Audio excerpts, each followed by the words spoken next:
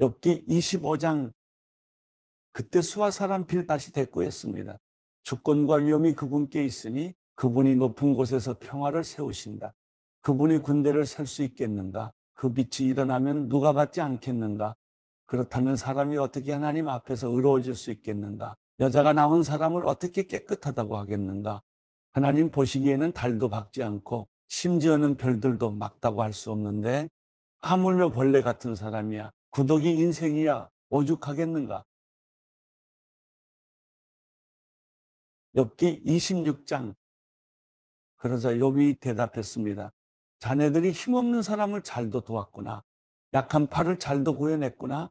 자네들이 죄 없는 사람에게 무슨 조언을 했다는 건가? 큰 깨달음이라도 가르쳐 주었다는 건가? 자네들이 누구에게 말해 주었다는 건가? 누구의 영이 자네들에게서 나왔는가? 죽은 사람들이 물속에서 떨고 거기 살고 있는 것들도 그러하다. 하나님 앞에서는 무덤이 훤히 드러나고 멸망의 구덩이도 가릴 게 없다. 그분은 허공의 북쪽 하늘을 펼쳐 놓으시고 아무것도 없는 공간에 땅을 매달아 놓으신다. 그분은 물을 두터운 구름으로 싸시지만 구름이 그 밑에서 터지는 일은 없다. 또 그 보좌 앞을 가리시고 그 위에 그분의 구름을 펼쳐 놓으신다. 그분은 수면의 수평선을 그어 빛과 어둠의 경계가 되게 하신다. 그분이 꾸짖으시면 하늘 기둥이 흔들리고 깜짝 놀란다. 능력으로 바다를 잠잠하게 하시고 지혜로 라합을 쳐부수신다. 그 숨결로 하늘을 맑게 하시고 손으로 달아나는 뱀을 찌르셨다다. 오, 이런 것들은 그분이 하신 일의 일부분일 뿐이라네. 그분에 대해 듣는 것은 희미한 소리일 뿐이라네. 과연 권능의 찬 우레소리를 누가 깨달을 수 있을까? 엽기 27장 엽이 계속해서 비유를 들어 말했습니다. 내 의를 빼앗아 가신 하나님, 내 영혼을 힘들게 하신 전능자께서 살아계시는 이상, 내 안에 아직 숨이 붙어 있고 하나님의 숨결이 내 코에 남아 있는 이상, 내 입술이 악을 말하지 않고 내 혀가 속이는 말을 내뱉지 않겠네. 나는 결단코 자네들이 옳다고 말하지 않겠네. 내가 죽을 때까지 나의 온전함을 포기하지 않겠네. 내가 나의 의로움을 굽히지 않을 것이고 내가 살아있는 한 내 마음이 나를 원망하지 않을 걸세. 내 원수들이 악인처럼 되고 내게 들고 일어난 사람들이 불의한 사람처럼 될 것이네. 이 선자가 얻은 게 있다고 한들 하나님께서 그 영혼을 가져가시는데 무슨 소망이 있겠는가? 그에게 고난이 닥친다고 하나님께서 그 부르짖는 소리를 들으시겠는가? 그가 전능하신 분을 기뻐하겠는가? 그가 항상 하나님을 부르겠는가? 내가 하나님의 권능을 자네들에게 가르쳐 주겠네. 전능하신 분의 뜻을 감추지 않겠네. 자네들이 다 이것을 직접 보고도 왜 그렇게 헛소리만 하고 있는가? 하나님께서 악인에게 정하신 목, 억압자들이 전능하신 분께 받을 기업은 이것이네. 그 자식이 많더라도 칼에 죽을 운명이에요. 그 자손들은 결코 배불리 먹지 못할 것이네. 살아남더라도 질병으로 죽어 묻힐 것이고 그 과부들은 울지도 못할 것이네. 그가 은을 흙먼지처럼 쌓아두고 옷을 진흙더미처럼 쌓아두더라도 그가 쌓아놓은 것은 의인이 있고 그 은은 죄 없는 사람들이 나눠 가질 것이네. 그가 지은 집은 거미집 같고 하수꾼이 지어놓은 초막 같을 것이네. 그가 부자가 돼 누워도 그것으로 마지막이요. 눈을 뜨고 나면 모든 것이 없어지고 말 것이네. 공포가 물처럼 그를 덮치고 폭풍이 밤에 그를 휩쓸어가며 동쪽에서 바람이 불어 그를 낚아채 가되 폭풍처럼 그가 살던 곳을 휩쓸어 갈 것이네. 하나님께서 그를 아끼지 않으시고 던져버리시리니 그 손으로부터 도망치려고 안간힘을 쓰겠지. 사람들이 그를 보고 손뼉을 치고 비아냥거리며 그를 내쫓을 것이네. 엽기 28장 은을 캐내는 광산이 있고 금을 정련하는 재련소가 있다네. 철은 땅 속에서 캐내고 동은 광석에서 재련해 내는 것인데 사람은 어둠의 끝까지 가서 구석구석 찾아서 광석을 캐낸다네.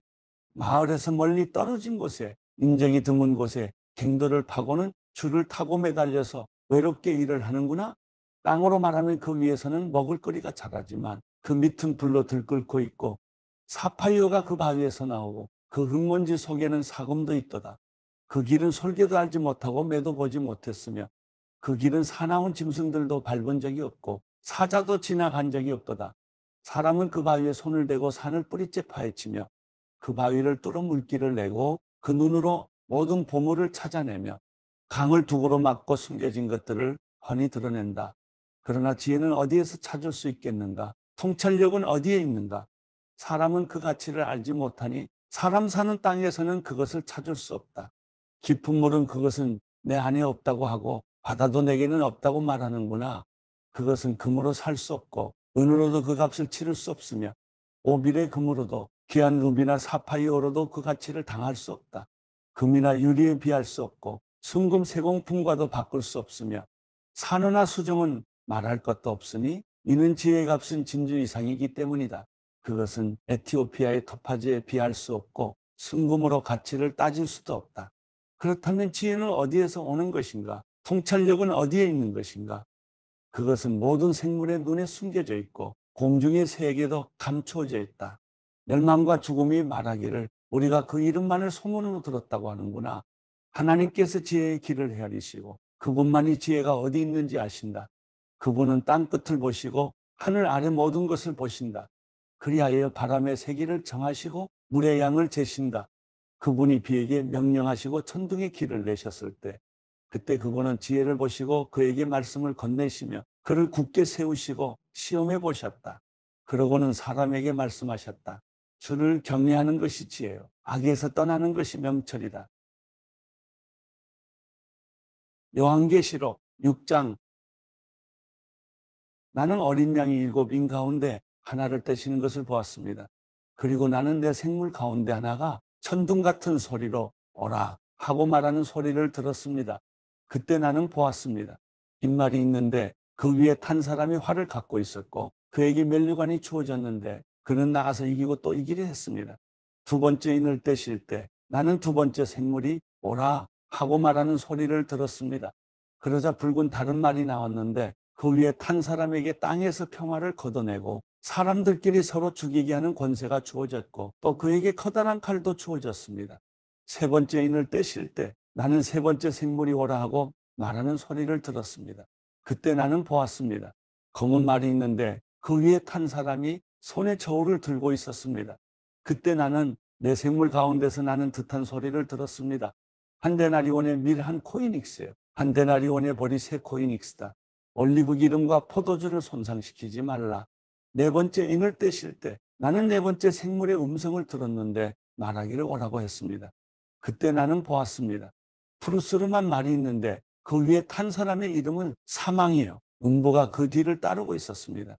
그들에게 칼과 기근과 사망과 땅의 들짐승들로 땅의 4분의 1을 죽일 권세가 주어졌습니다.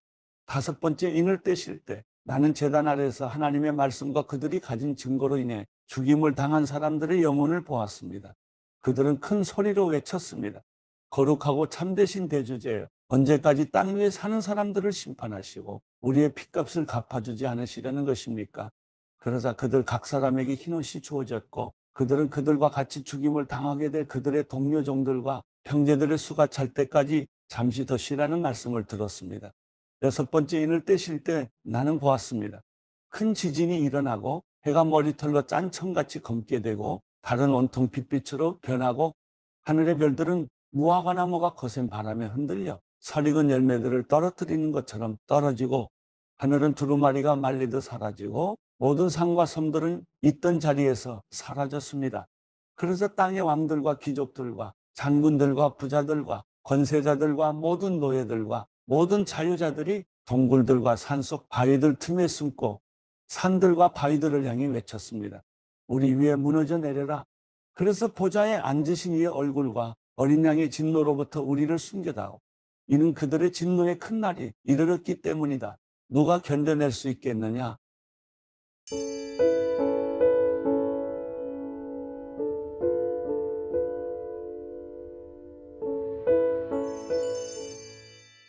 시편 78편 오 내 백성들아 내 가르침을 들으라 내 입으로 하는 말에 귀 기울이라 내가 입을 열어 비유를 들고 옛날부터 전해오는 비밀스러운 일들을 말해주리라 그것은 우리가 들어서 아는 것이고 우리 조상들이 우리에게 전해준 것이다.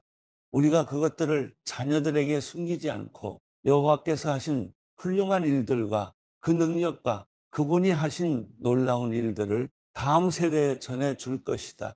그분은 야곱을 위해 계명을 세우시고 이스라엘을 위해 율법을 정하셔서 우리 조상들에게 그것을 자녀들에게 가르치라고 명령하셨다. 그래서 다음 세대가 그것을 알고 아직 태어나지 않은 자녀들까지도 그것을 알며 또 그 자녀들에게도 전하도록 하셨다. 그러면 그들이 하나님을 의지하고 그분이 하신 일들을 잊지 않으며 오직 그 계명을 지킬 것이고 그 조상들처럼 고집 세고 반항적인 세대가 되지 않을 것이다. 그들의 마음은 하나님께 바르지 못했고 영으로도 하나님께 신실하지 못했다. 에브라임의 자손들은 무장의 활을 지니고 있었지만 전투하던 날에는 뒤로 물러나고 말았다. 그들은 하나님의 언약을 지키지 않았고 그 율법대로 살기를 거부했다. 그들은 하나님께서 하신 일들과 자기들에게 보여주신 그 놀라운 일들을 다 잊어버렸다. 그분이 이집트 땅 소환 들판에서 그들의 조상들이 보는 앞에서 일으키신 기적을 잊은 것이다. 바다를 가르고 물을 벽처럼 세우셔서 그들을 그 가운데로 지나가게 하신 것을 말이다.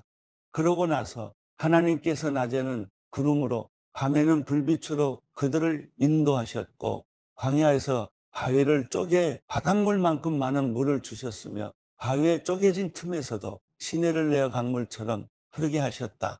그러나 그들은 광야에서 지극히 높으신 분을 성나게 함으로써 더더욱 하나님께 죄를 지었다. 그들은 욕심껏 음식을 구하면서 의도적으로 하나님을 시험했다. 하나님께 이런 못된 말을 했던 것이다. 하나님께서 과연 광야에서 음식상을 준비하시겠는가? 보라, 하나님이 바위를 치셨더니 물이 흘러나와 시내가 줄줄 넘쳤는데 과연 빵도 주실 수 있겠는가? 백성들에게 고기를 마련하시겠는가? 여호와께서 그 말을 듣고 몹시 진노하셨다.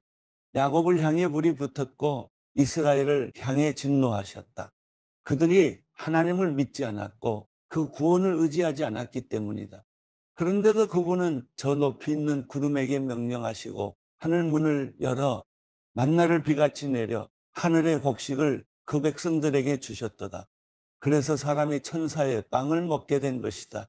그것도 충분히 먹을 만큼 보내주셨다. 그분은 하늘에서 동쪽 바람이 불게 하시고 능력으로 남쪽 바람을 보내셨다. 그분은 먼지가 일듯 그들에게 고기를 내려주셨는데 그것은 바닷가의 모래알처럼 많은 새들이었다. 그분은 새들이 그 진영 안에 그들이 사는 곳에 떨어지게 하셨다. 그리하여 그들은 배부를 때까지 실컷 먹게 됐다. 하나님께서 그들이 욕심 부린 대로 주신 것이다. 그러나 그들은 그 욕망을 벗어던질 줄 몰랐다. 그 음식이 아직 그들의 입속에 있을 때 하나님의 진노가 그들에게 닥쳤다. 하나님께서 그들 가운데 가장 살찐 사람들을 죽이시고 이스라엘의 청년들을 뽑아내 죽이신 것이다. 이 모든 것에도 그들은 여전히 죄를 지었고 하나님의 놀라운 일들을 보고도 믿지 않았다. 그리하여 하나님께서는 그들에게 헛된 날들을 보내게 하셨으며 그들의 세월을 고통스럽게 끝나게 하셨다. 하나님께서 그들을 죽이시자 그들은 그때서야 하나님을 찾았고 다시 간절하게 하나님께 마음을 돌이켰다. 그제야 그들은 하나님이 그들의 반석이심을 지극히 높으신 하나님이 그들의 구속자이심을 기억했던 것이다. 그러나 여전히 입만 놀릴 뿐 혀로는 거짓말을 했다. 그 마음은 하나님께 충성되지 못했고 하나님의 언약에 성실하지 못했다. 그러나 하나님께서는 불쌍한 마음이 가득해 그들의 죄악을 용서하시고 그들을 멸망시키지 않으셨다. 몇 번이나 진노가 솟구치는 것을 참고 참으신 것이다. 그들이 그저 육체에 지나지 않는 존재인 것을 다시 돌아오지 않는 지나가는 바람인 것을 기억하셨기 때문이다. 그들이 광야에서 얼마나 진노를 부르고 사막에서 얼마나 걱정을 끼쳤는지 뒤돌아 하나님을 시험하고 이스라엘의 거룩하신 분을 막아선 것이다. 그들은 하나님의 손과 하나님께서 그들을 억압하는 사람들에게서 구원하신 날을 기억하지 않았다. 하나님께서 이집트에서 보여주신 표적과 소한 지역에서 보여주신 놀라운 일들을 잊어버린 것이다. 강물을 피로 변하게 해 그들이 마실 수 없게 하셨고 파리떼를 보내 그들을 삼키게 하셨고 개구리를 보내 그들을 파멸시키셨으며 그들이 수확한 것을 해충들에게 그 수고한 것을 메뚜기들에게 주셨다.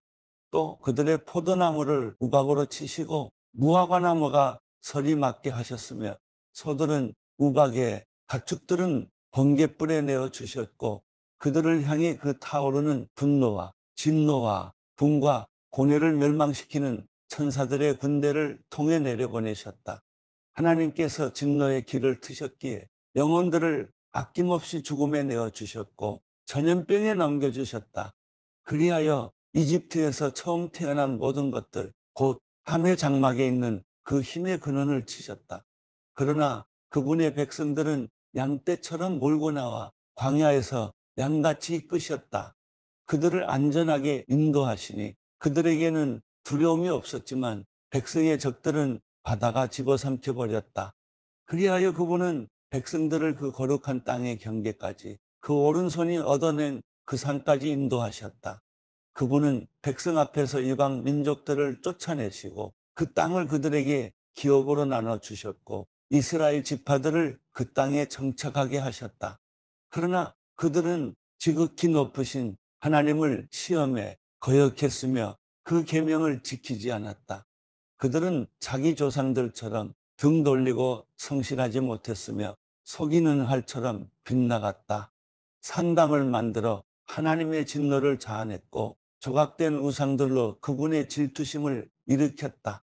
하나님께서는 그들의 말을 듣고 진노해 이스라엘을 완전히 외면하셨다.